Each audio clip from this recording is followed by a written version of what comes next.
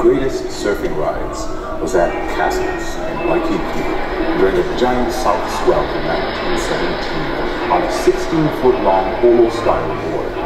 The ride was said to have been a little over a mile. If I hadn't fallen, Duke said in a 1965 interview, I would have gone straight into Happy Steiner's Waikiki Tavern. Surfing innovator Tom Blake wrote that Duke told him it was about 8.30 in the morning. No trade wind yet. The ocean was like glass except for the swells. They were running about 30 feet high. We were waiting for them off Castle Point, Kailua Biographer Joe Grant invented a first-person narrative in his World of Surfing book and wrote, I shifted my weight cut left at more of an angle shot into the big castle surf. Spray was spewing up wildly from my rails. I rode it for city blocks.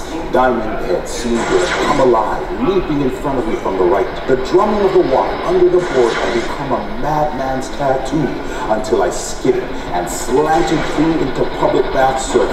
Shuffled back a little on the board to keep from curling. It was left and left and more left and burrowing in the Plymouth surf for all it was worth. I managed into the now towering Queen's surf. I teetered, caught control again, and made it down to the last forward rush, sliding and bouncing through the lunatic water.